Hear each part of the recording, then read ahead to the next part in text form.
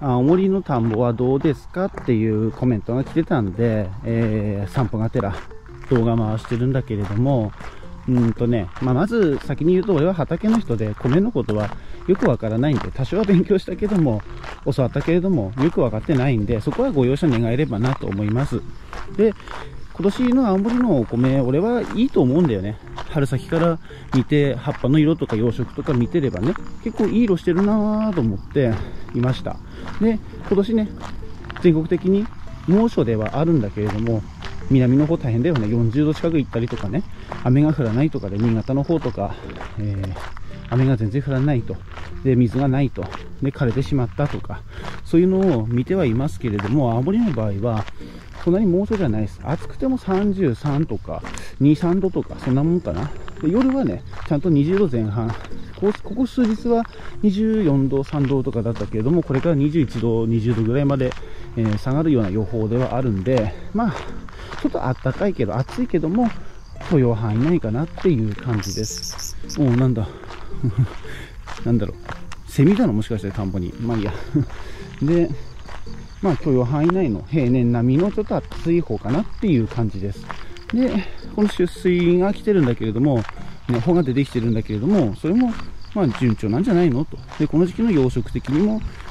いいんじゃないのと。ただ気になるのはちょっと穂よりも、うん、ちょっと葉っぱがでかいところもあるから肥料効いてるのかなって思います。で、天気に関して言うと、雨が多い。雨が多いおかげで、うちのきゅうりとかちょっと弱り気味なんだけれども、湿気が多くてね、あの、うどんこ病が出て、そういう感じなんだけれども、ちょっと減収状態なんだけれども、まあそれはそれでいいんだけれども、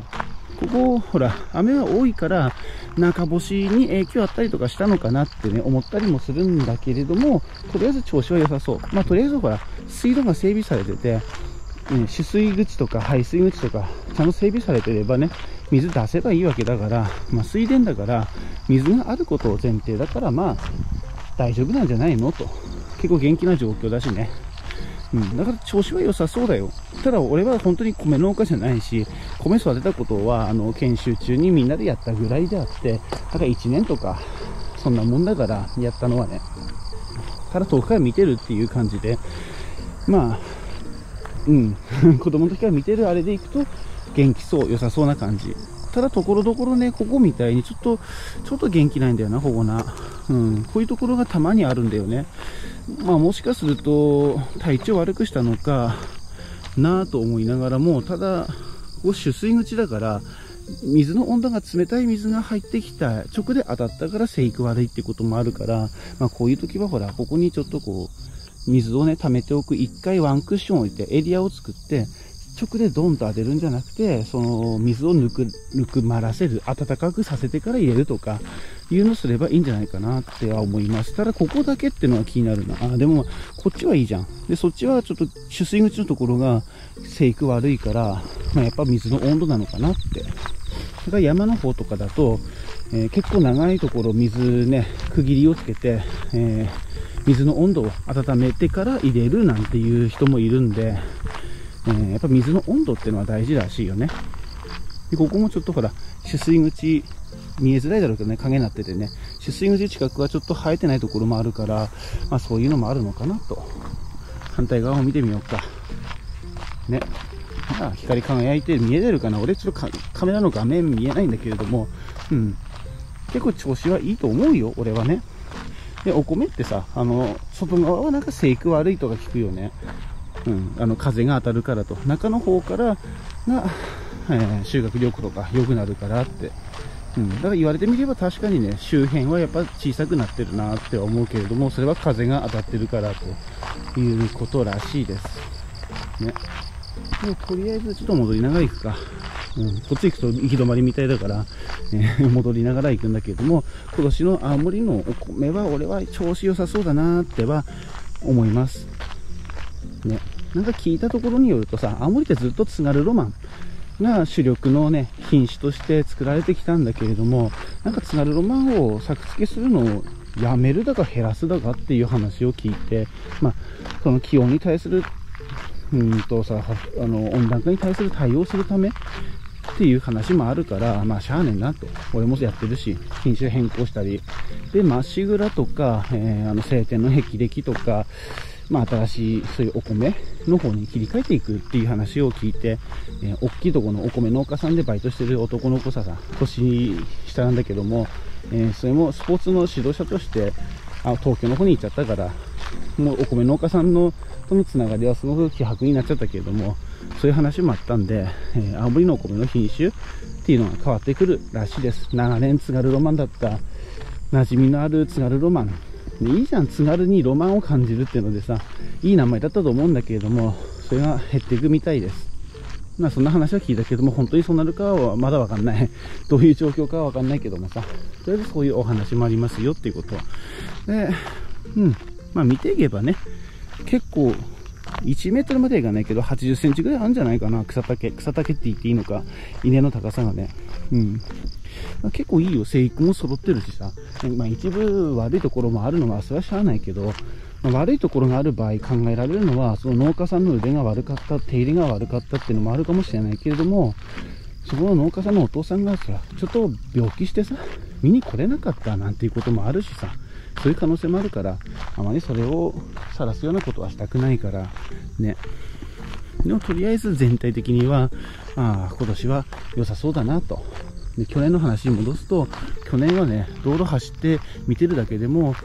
稲がね、枯れてしまって、えー、茶色く褐色してるなーって、これやべえなっていうのを、この時期でも見てて分かったもん。畑に行く途中の田んぼ見ててもさ、ところどころ茶色くなって、ハゲで待って、全然これ無理じゃんっていうようなね、それだけの猛暑だったの、去年は。連日25ヶ月、25ヶ月じゃねえや、ね、2ヶ月35度超えて、雨が降らない。水不足ってことはなかったと思うんだけど、水路から来てたから。だけども、やっぱ暑すぎて、夜もね、熱帯夜連続して、青森で熱帯夜なんてそんな、なかったよ、昔はね。で、もうさ、本当に悲惨な状況で、お米も全然いいのが取れないっていう話は聞こえてきてたんで、それから比べれば今年は、まあまあいいんじゃないかなと、現時点ではね、素人の俺がね、お米素人の俺が見る限りでは良さそうな感じはします。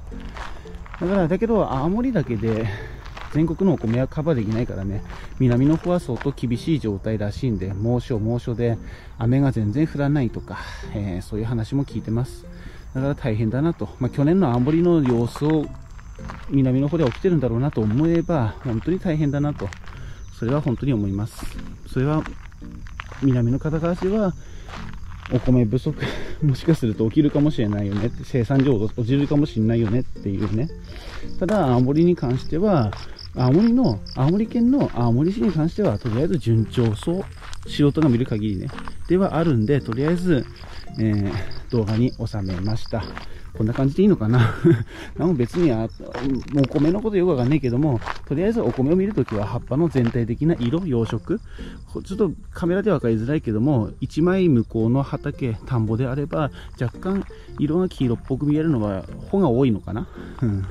まあ、この時期になると黄色っぽくなってくるからね、穂の色でね、若干変わってくるからあれだけども、ね、葉っぱの色、養殖においては、順調そうだし、草丈においても丈夫そうだし、風も結構強かったり、雨も強かったりしたけども、倒れること、東北もないから、まあいいんじゃないの？と、俺は思います。まあ、こういう感じです。本当に、無農薬の小規模の畑やってる人からすると、この大規模のね、すごいよね、この規模ね、見渡す限り、えー、田んぼなんだけれども、こういう状況です。あとは分かりません。ね。とりあえず青森はね、いいお米取れそうなんで、もし、えー、お米買うときネットで買えるんであれば、青森のお米、青森県産のお米、店頭にも並ぶかもしれないけれどもさ、まっしぐらとか、晴天の霹靂とか、津軽ロマンはどうなるかわかんないけれども、えー、そういうのを買ってもらえたらいいなと思います。青森のお米、よろしくお願いします。